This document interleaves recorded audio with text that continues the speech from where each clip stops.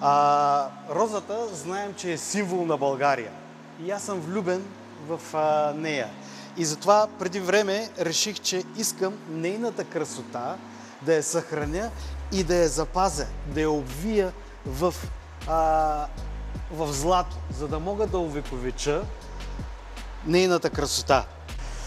Как се изработва тази роза? Тя е истинска роза отвътре. По специална технология се метализира първо на мед, след това се никелира и накрая се позлатява с 24 карата злато. За да се изработи една роза е необходимо някъде около 72 часа, за да придобие тази визия. Тук вътре, под логото, има ниша, в която има малко мускалче с,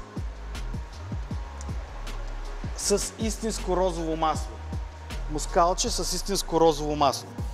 И каква е целта, нали? Човек, когато се закупи един такъв, едно такова авторско произведение и го занесе в къщи, в която и да е държава, или пък го поднесе като подарък на свой близък човек, той да има абсолютно всичко от тази държава. Розата българската, също така мускалчето, което е с истинско розово масло и това да му остане един хубав и уникален спомен.